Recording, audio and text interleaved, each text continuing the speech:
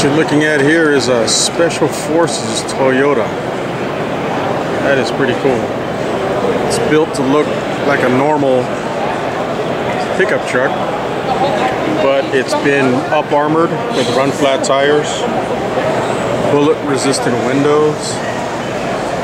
Wow, it's got racks and the engine's been upgraded and modified.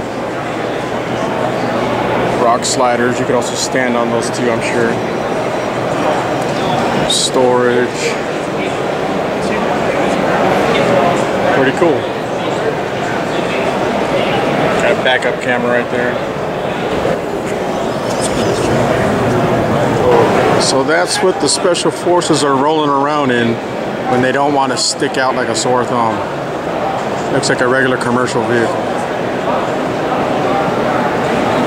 Bulletproof windows are a nice touch.